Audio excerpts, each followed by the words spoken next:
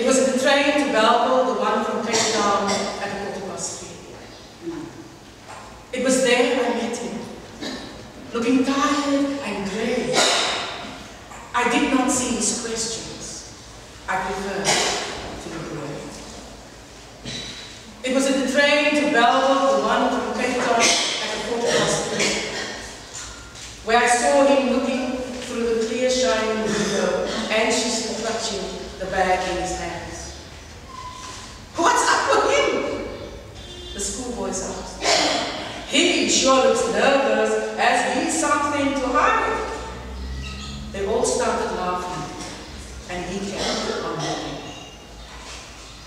It was a train to Bellville, the one from Cape Town at a quarter past three, with the name of the station in front of our eyes, that he slowly moved forward and tapped the boy right next to him.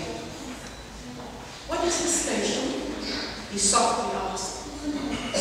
The answer came in spurts of laughter. He cannot read!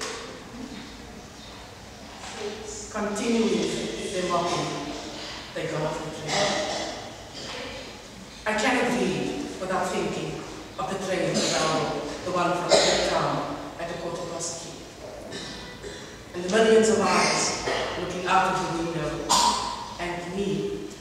never